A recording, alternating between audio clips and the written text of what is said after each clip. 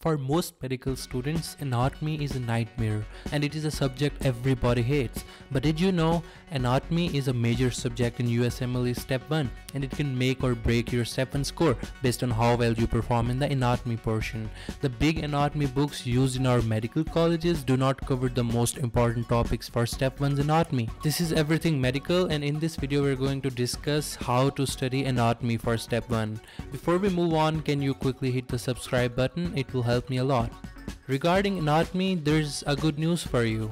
Only clinically relevant anatomy is important for the USMLE. In other words, if a certain anatomical fact does not have a clinical context, it's not very high yield for step 1.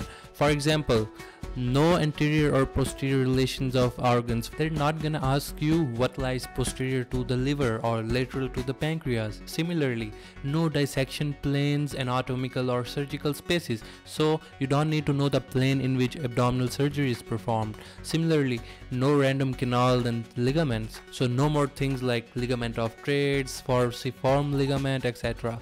And finally, no origin insertion of muscles, like nobody is going to ask you where the origin of extensor carpi radialis longus is. You get my point.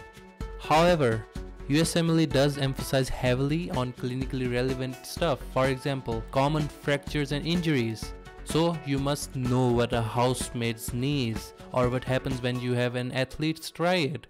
Similarly, nerve supplies or injuries are super important. For example, what kind of hand shape is seen in a median nerve injury. And ligament tears for example when your hamstring ruptures. Also pathology related anatomy for example the x-ray picture of the skull in multiple myeloma. What's the presentation? All of this is super important for step 1 and you need to be prepared for this. The most important material in order to master anatomy for step 1 is USMLE first aid this is called the Bible of Step 1 and you cannot pass Step 1 without it.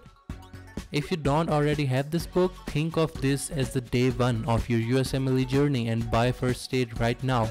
I have the links to buy it in the description.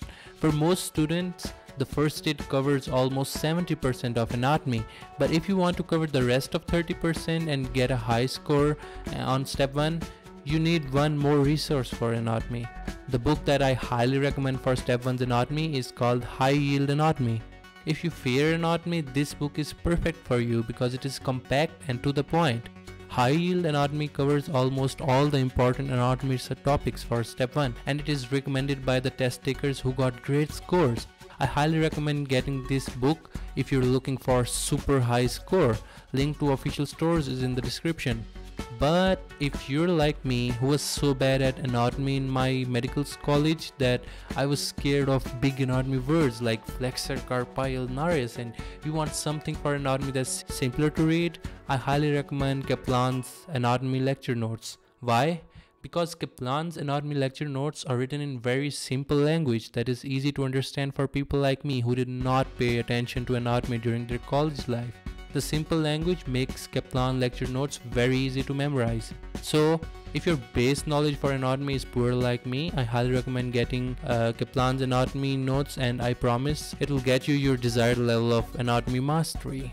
In fact, it's not just anatomy. I used Kaplan lecture notes for these 7 subjects and they worked great for me. These subjects included anatomy, physiology, biochemistry and genetics, ethics, biostat, microbiology, immunology and pharmacology. I suggest you get the whole Kaplan lecture note set if you want to start step 1 preparation from scratch. Links to the official stores are in the description box.